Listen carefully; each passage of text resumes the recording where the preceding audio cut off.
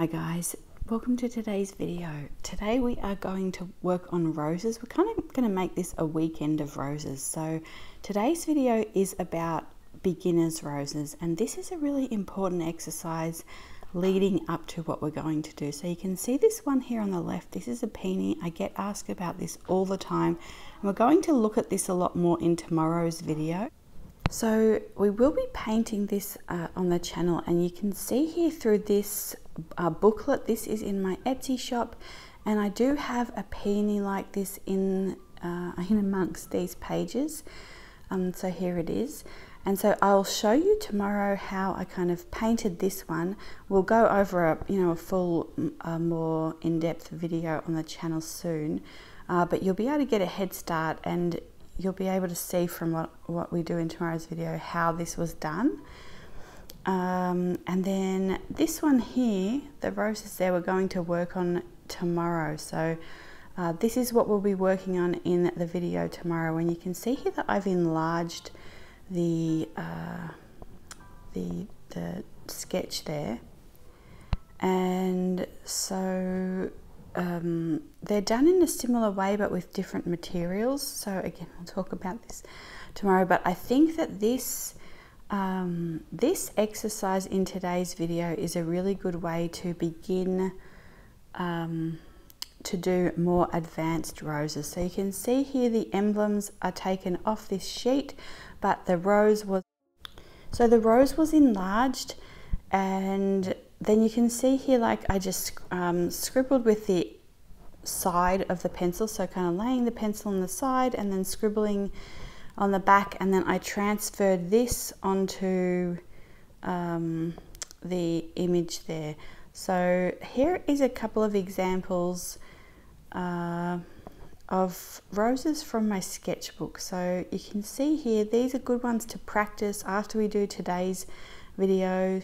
You can sort of bring the video back here and uh, you know pause the video here and try and practice some of these different shapes and uh, colors and different types of roses.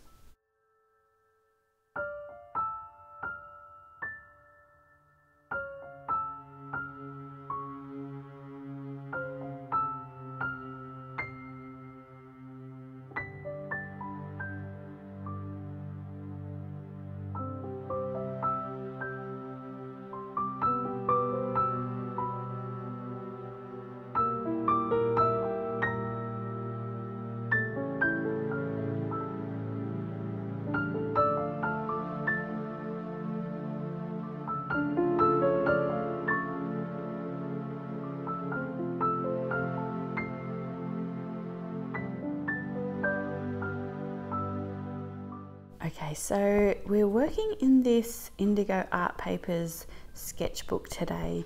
So a few of you have asked me about this book and we'll go a little bit more into that. And I'm also trying out this new um, brush. So, well, it's not a new brush. I got this last Christmas. It's a Raphael one. I got it from Jerry's. You can see it's a long handle one, so it's for oil painting. But I'm thinking to, I was trying it out for videos because I just, I don't like having my hands in the videos. I really, um, you know, they've they've been working hands and they and they're not in the best condition. And I just I just would prefer not to show them if I don't have to. So I'm trying to um, uh, use this this brush, but I actually really really love it. So it's got a cat's tongue, so it's pointy, and then you can kind of use the sides and do all different shapes of it. So I've been really loving this and using it actually quite a lot. So the other thing that I've been working on are cam the camera angles and things. I spent like two hours this week just trying, fiddling around with different angles and different ways to um, put the kind of tripod, which I really love actually. Um, I'll have to show that in a video. So it's a really nice sturdy one. Um, yeah, anyway. So we're going to start the roses here. So you can see that I'm doing this kind of C shape, kind of a crescent shape, and just kind of moving those and molding them around each other. So we're kind of doing them asymmetrically so they don't exactly line up. And then as they go out, we get a little bit bigger and we want the shapes to be loose. We don't necessarily want a perfect uh, kind of C shape or crescent shape. We want them to, some to be a little thinner, some to be a little larger. And as we move out, um, you know, the size increases and the sort of the variation around the petal, um, you know, the floral formation uh, will change a little bit. And so every time you do one of these, it should be slightly different. Um, you can see here as well, I'm using the Daniel Smith permanent rose. So you can use something like a quinacridone rose, but you can see that I started out with the full strength and now I'm watering that down you know so now there's much more water than pigment in the mix and that's what makes the really soft pink as we go towards the edges. So I've gone back in to the center here and this is not exactly what I wanted to happen. This is why um, uh, this paper is not necessarily my favorite for glazing but as far as it goes I, I am really enjoying this sketchbook and um, yeah it's just uh, as far as like anyway it's sort of more for a you know first glaze. So you just want to kind of paint and then um, make that, you know, drop in as much pigment as you want to create that. You, you can't really go over it because it just kind of lifts off and um, creates a few problems.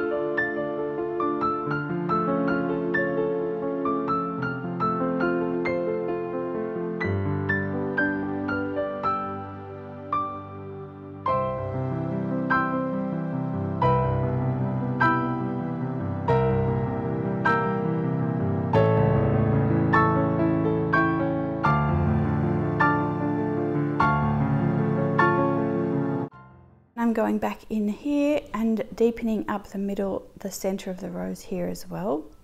So this is where you kind of want to look at which colors do I want in my rose, which colors do I want to use for the shadow areas, uh, which colors do I want to use for the highlight areas.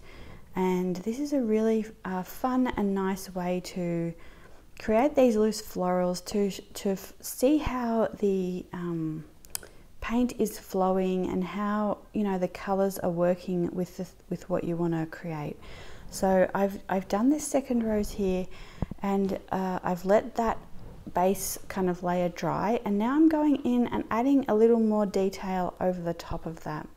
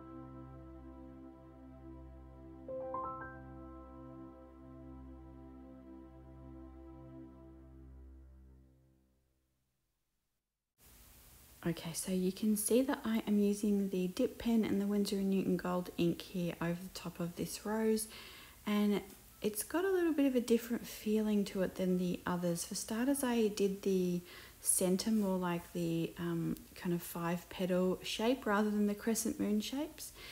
And um, so you can see I switched to the paintbrush here. But um, the first rose we did, you know, kind of had some form and some looseness the second one was a little bit more, um, a little bit more structured, I'd say. And then this one here, I wanted this to have a very light feeling, but the gold over the top of this very loose, more abstract floral. And so the line work actually fills in some of that, the gold line work. And um, this is actually a case of, um, you know, we talk a lot about on the channel um, when to know when to stop and how to not overdo things. And I think this is a case of, of um, this was really nice at a point where I finished the gold and then I went back in at trying to add some darker um, shades in the middle and because of the way the paper reacts and just because of I don't know the whole thing it yeah that was definitely overworked um, so that's just again something to practice, and it's really uh, it's a lot easier to do on these sort of more quick um, roses rather than one that you've sketched out and one that you um, you know have worked on for quite a while. So this is where you want to you know work on your colors, work on um, the shapes and the forms and the shadow colors. So I, am not sure if I mentioned as well, but the, the colours that I've been using uh, in these roses Okay, so yeah, you can see here, this is where I start adding the, so I think this is Sedona.